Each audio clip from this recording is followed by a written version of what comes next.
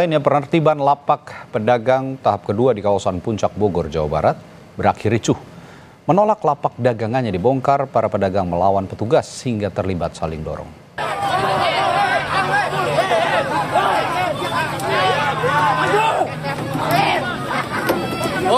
Kericuhan terjadi saat sebagian pedagang menilai penertiban yang dilakukan petugas Satpol PP tebang pilih.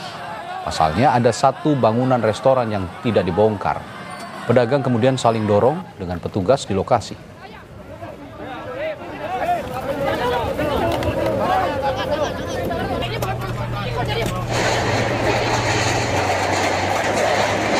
Meski mendapat penolakan, penertiban lapak pedagang terus dilakukan petugas Satpol PP.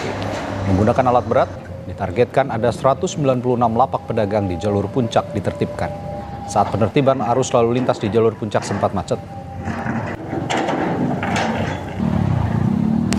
Yang nama pembongkaran pasti ada penolakan-penolakan kecil ada Pak. Karena ya tadi sebetulnya penolakan itu tidak usah terjadi. Karena apa?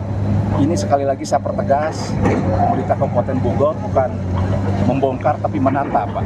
Oh, hari ini 196. 196. Siap hari ini selesai semua Pak targetnya Pak. Kenapa? Targetnya pembongkaran hari ini selesai semua. Hari ini insya Allah uh, pembongkaran atau penataan diselesaikan satu hari Pak.